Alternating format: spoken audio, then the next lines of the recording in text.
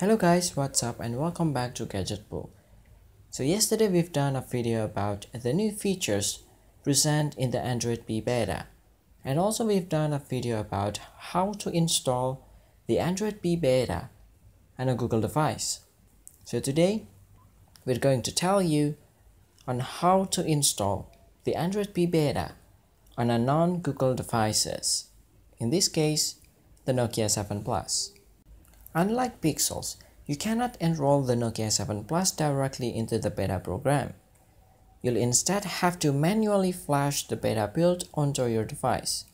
To do so, you'll need to install the Android SDK or just use a utility like Minimal ADB and Fastboot if you're using Windows.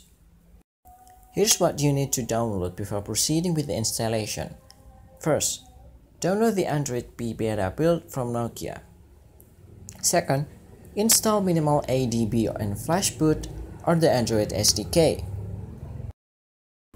In recovery mode, scroll to the Apply Update from ADB option. Open up a command prompt on your computer and navigate to the folder where you downloaded the beta build. Then enter ADB devices. You should be able to see Sideload on the device screen. And then you have to validate your device on Nokia's website before you can install the Android P beta. You should register for a Nokia account if you don't have one and add your device. You should enter the IMEI number of your Nokia 7 Plus, as well as the carrier your SIM card is registered to and the country.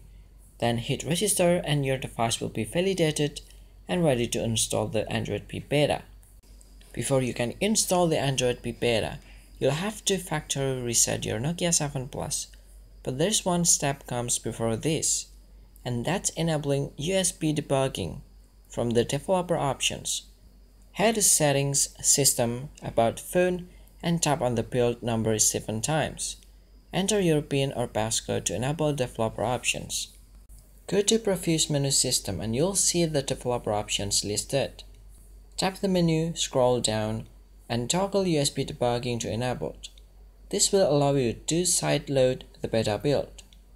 Nokia's Beta Labs page specifically states that you'll have to clear the data via recovery mode and not from the phone setting. So you'll have to boot into recovery first. Here's how can you do so. The first step is to power off your device and connect it to your computer. Then press the power and volume up keys simultaneously for 10 seconds. Release the keys once you see the Android One boot screen. You'll now see a screen with the Android robot and a red exclamation mark with no command written underneath.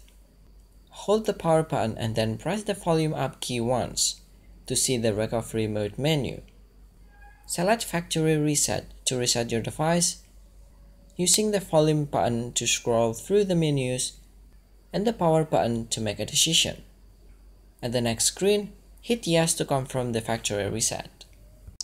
Once your device has been reset, you will be able to install the Android P build via ADB. Enter the following command adb sideload b2n 3050 0 00 ww b01 update.zip you should see a progress bar indicating the status of the installation. Once the installation is complete, select Reboot System Now. And once your device reboots, you'll be able to set it up from scratch and start using Android P. So that's it guys, how to install the Android P beta on your Nokia 7 Plus. Let me know how you're liking the new features in the comment below.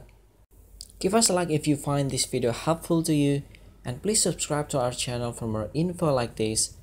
Thank you for watching and I'll see you guys next time.